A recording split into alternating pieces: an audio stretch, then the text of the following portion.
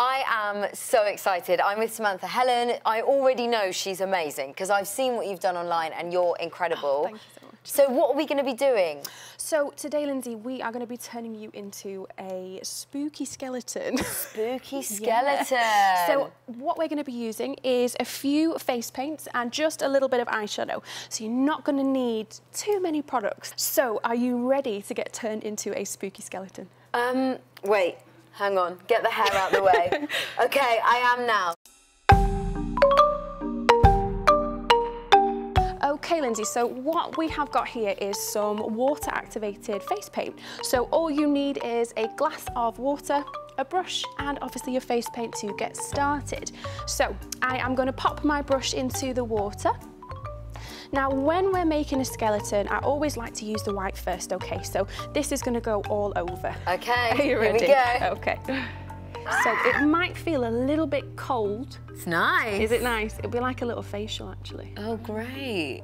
Okay, so we're gonna pop this all over the forehead to start off with. How do you know how thick to do it? So it's depending on the paint really. If you do have makeup on beforehand, um, I would do it a little bit thicker. But because you've got really, really nice, clean, fresh skin, we can just pop the paint straight over and this type of paint, because it is water activated, it's just dependent on how much water you pop in the paint to make it as thick as you want it. So if you want a thin coat, just to put, put sort of like a little bit more water.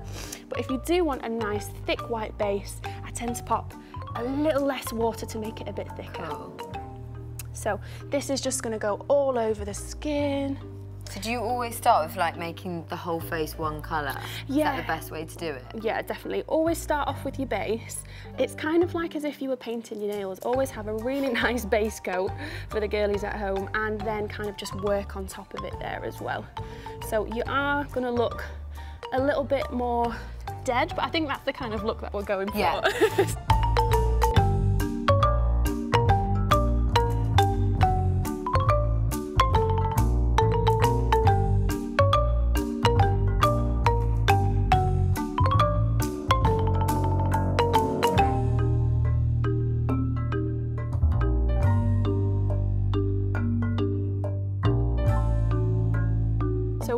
big swoop all the way around the face should get you a nice clean line. So guys, we're gonna go around the mouth and nose area. So just make sure that if you are doing this at home, they either drink through a little bit of a straw or they just don't open the mouth when you're doing it because it's not gonna taste the nicest. Oh.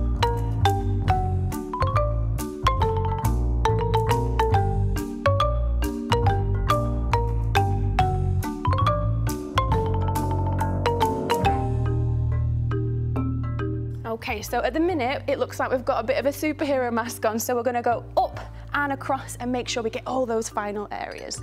Now guys, there's a reason why we are actually leaving um, the two eye sockets open. It's just if we painted everything in white, Lindsey, what would happen is as soon as we would paint the black over the top, it would go grey. Yeah. So we need to make sure that we're leaving that just nice and open for the black paint.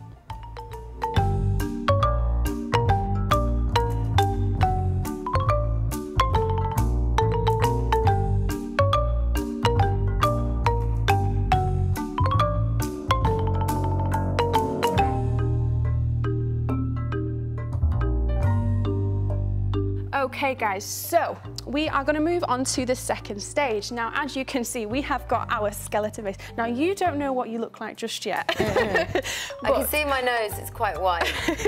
So what we are going to do now, guys, is just move on to the black face paint. So this is going to go into the eyes. So for a little bit, she might look like a panda until we get the nostrils and the teeth on there, but don't worry. You could do a Halloween panda.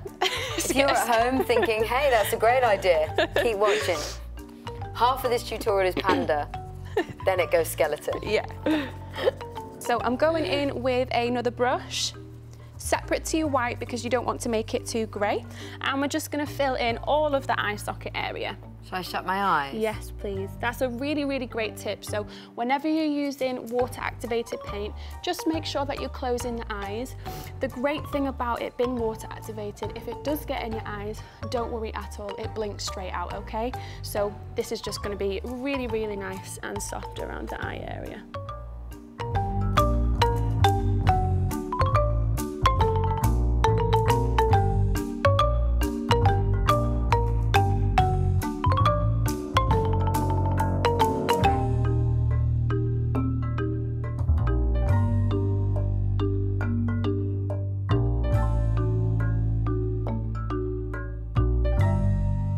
If you are afraid of getting it in the eyes, just take it up to just underneath the waterline. And what you can do is fill the rest in with like a black eyeshadow. That's a really great tip if you're a little bit scared of putting paint too close to the eye area.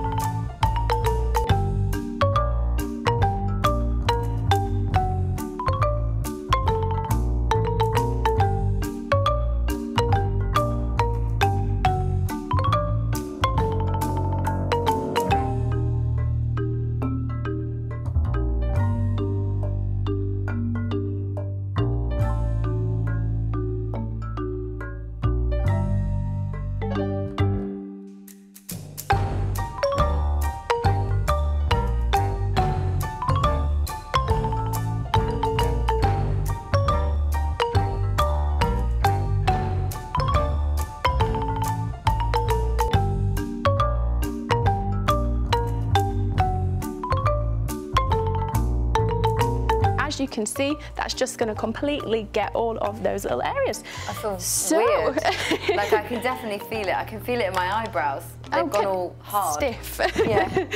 right, guys, so with our skeleton, we are now going to pop a little nose on there, so nothing too complicated. This is where I use just a normal paintbrush, so you can get this just from a generic craft shop. And we're just going to paint, it's almost like two teardrops that are going to go on the end of your nose. I think the nose is what makes it really scary. It just kind of makes it look a little bit more deathly, I guess.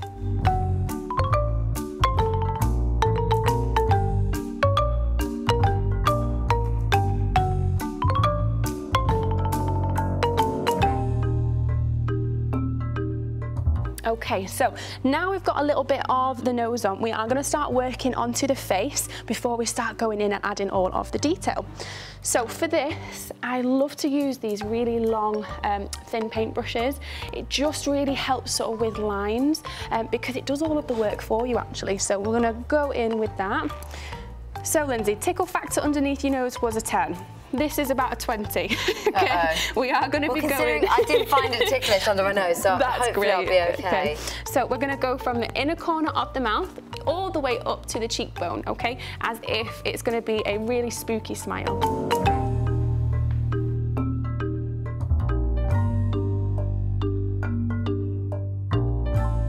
Now what we need to do is start to draw on some teeth. So we are going to be doing some tiny little lines that are going to go up and across of the lip.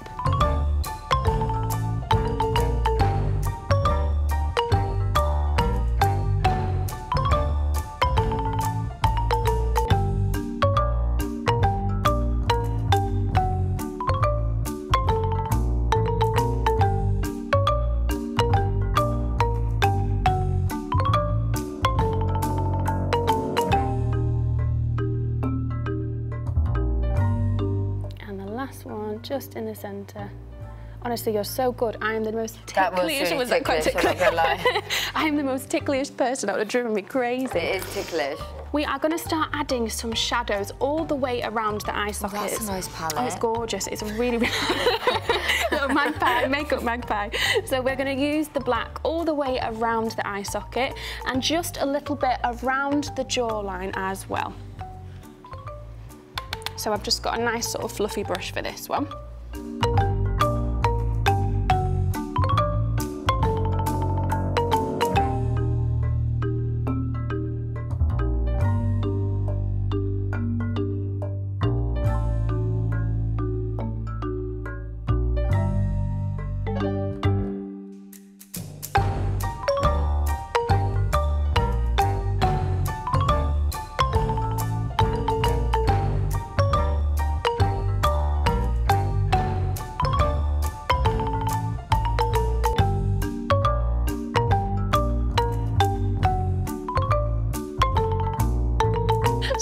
The, one of the last steps with the eyeshadow, we're just gonna go around the jawline just to really carve out those deathly bones.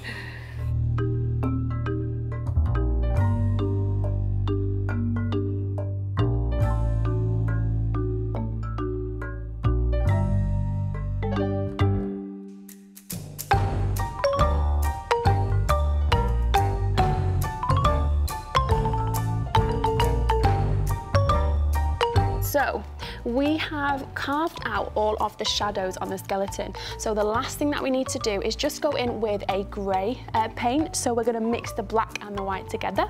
And we're just gonna make a few more hollowed out sections, okay? And then we will do the grand reveal. So guys, um, if you ever want to actually create a colour, paints um, and face paints are just like the ones we have at school. So you can always mix your colours together. So don't feel like you have to go out and buy every single colour.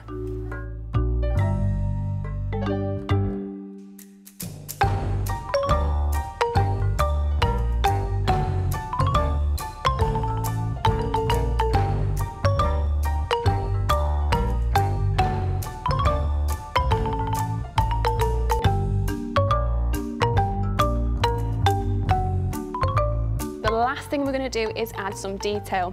Now, with our skeleton, I'm just gonna add some cracks using the black face paint and that lovely thin brush that we used on the mouth.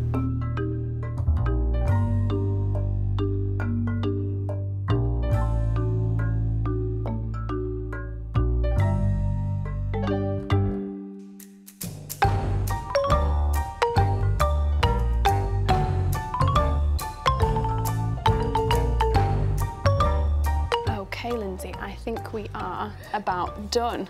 So guys, what I'm gonna do, I'm gonna grab a mirror and I'm gonna let you see what you look like, okay? Yeah. Are you ready? Yeah. And open.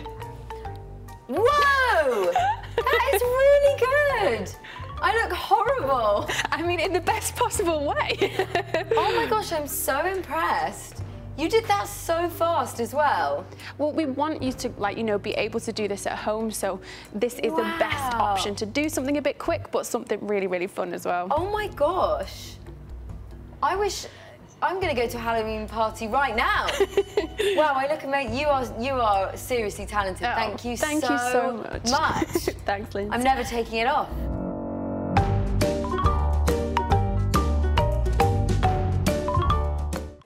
Richie here. Subscribe to the Blue Peter YouTube channel right now. Check out our playlists, like this video, and if you want to watch brand new Blue Peter, head to the BBC iPlayer. Watch more on BBC iPlayer.